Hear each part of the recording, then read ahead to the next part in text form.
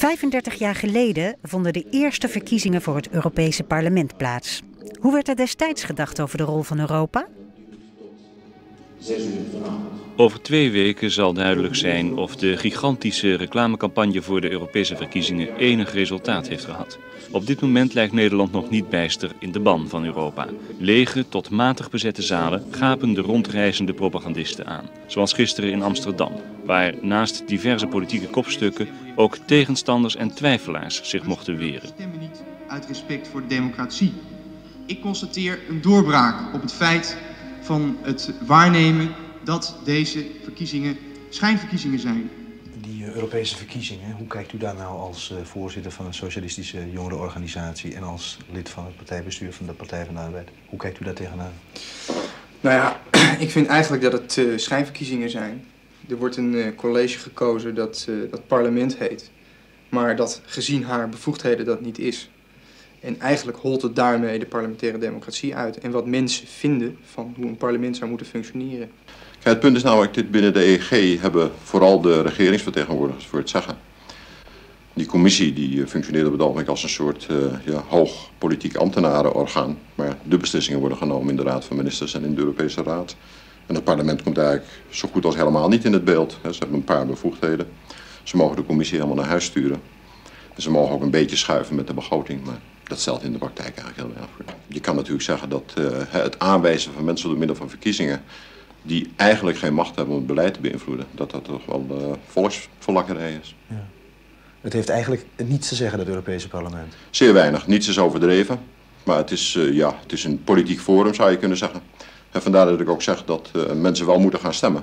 Maar het stelt heel weinig voor. En ik denk ook dat in de toekomst de frustratie betrekkelijk groot zal zijn. Ja. Ja, wij hebben in november op ons congres hebben wij gezegd dat uh, EEG-parlement, want het is namelijk geen Europees parlement, er zitten maar een negental lidstaten in, en niet alle Europese landen. Nou, dat EEG-parlement dat heeft geen bevoegdheden om als parlement te functioneren. En daar hebben wij dus grote bezwaren tegen. Het is dus ook niet in staat om, uh, om veranderingen door te voeren. Nou, dat standpunt hebben we naar buiten gebracht.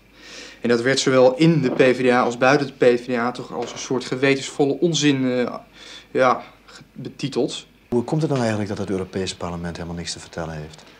Ja, in het begin hebben we gezegd, we moeten die samenwerking in Europa tot stand brengen. Men wilde vooral uh, Duitsland inkapselen, kun je zeggen. Men wilde ook uh, vooral een dam opwerpen tegen het Russisch gevaar. En men zei, nou kijk, dan beginnen we eerst met een samenwerking waarbij dus de macht vooral ligt bij de vertegenwoordigers van de regeringen.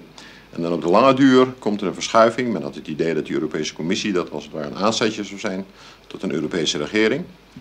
En men wilde dus, tenminste dat was dan in het begin die idee, zoals die tenminste op papier werd gezet, dat de Europese Commissie een Europese regering zou worden en dan zou daarbij het Europese parlement meer macht krijgen.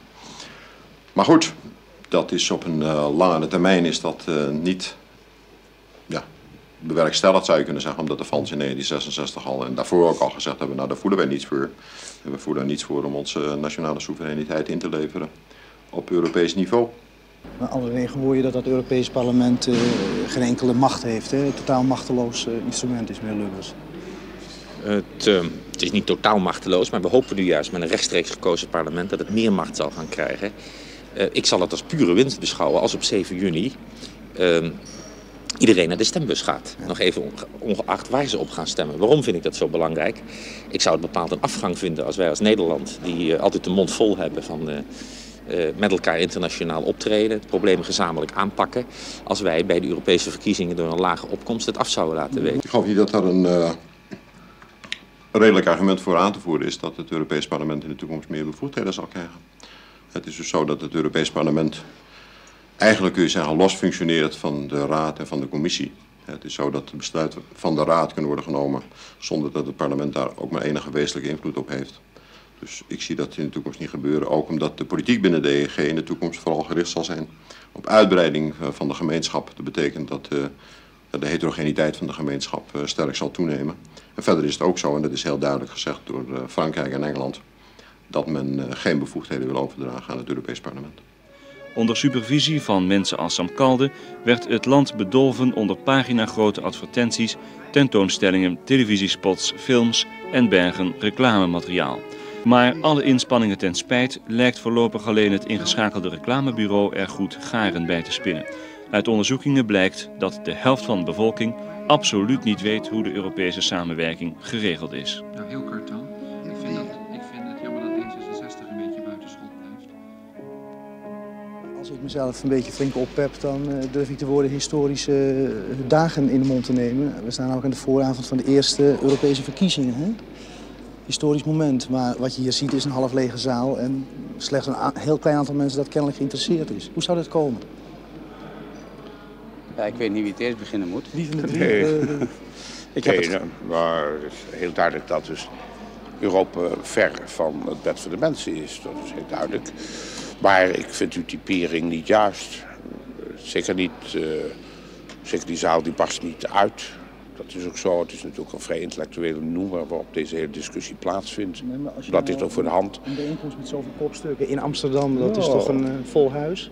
Nou, dat weet ik niet. Het is natuurlijk zo dat men niet het gevoel heeft dat dus eh, de beslissingen nu vallen over Europa. Men heeft interesse voor zijn eigen lot. Koppelt dat aan wat nationale regeringen doen, ligt ook voor de hand. En er is natuurlijk die afstand tot dat verre Straatsburg. En de kennis daarover is beperkt. En eh, goed, dat element van kunstmatigheid blijft erin. Maar ik denk ook dat als de mensen op 7 juni gaan stemmen, dat ze dat vooral doen met in het hoofd ja, wat er nationaal aan de orde is. En, en is in een buurt en wijk. Hè? Dat is toch niet de bedoeling? Natuurlijk wel, want het gaat toch, heb ik proberen uiteen te zetten, en ik hoop niet zonder vrucht, dat het om precies dezelfde problemen in, Europa gaat als hier. En terecht meten de mensen dat dus af aan hun eigen situatie en wat ze te wachten staan. Voor de pauze kwamen de Europese politici in spe als Jansen, Kalma en mevrouw Klinkenberg, eerste reserve van de CPN, aan het woord. Dat leverde weinig opwindends op. Maar ook het optreden van Den Uyl, Rietkerk en Lubbers na de pauze veroorzaakte nauwelijks geestdrift. Hoe zou het nou eh, hoe zou het eigenlijk moeten? Nou, ja, hoe zou het eigenlijk moeten? Het, het mooiste zou zijn, maar dat is niet realistisch. Het mooiste zou zijn dat het Europees Parlement werkelijk een parlement zou zijn. Met bevoegdheden ook op het gebied van de wetgeving, et cetera. Maar dat is nu niet het geval en dat komt ook niet. Dat is mijn voorspelling dat dat niet gebeurt. Dat vind ik wel jammer, maar ik geloof dat dat de enige redelijke voorspelling is die je kunt maken. Nou, dan moet je zeggen, wat dan? Dan zeg ik, nou, dan moet je de Europese integratiebeweging moet je niet frustreren, maar hij moet wel democratisch gecontroleerd worden.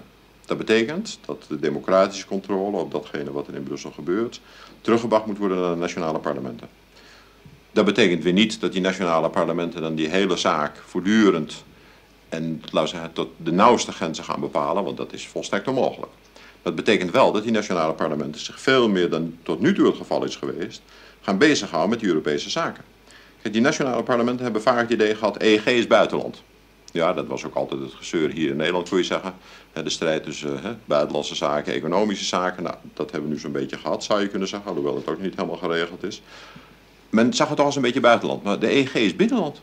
En men moet dat ook als een heel belangrijk binnenlands politiek probleem zien. Neem bijvoorbeeld het landbouwbeleid.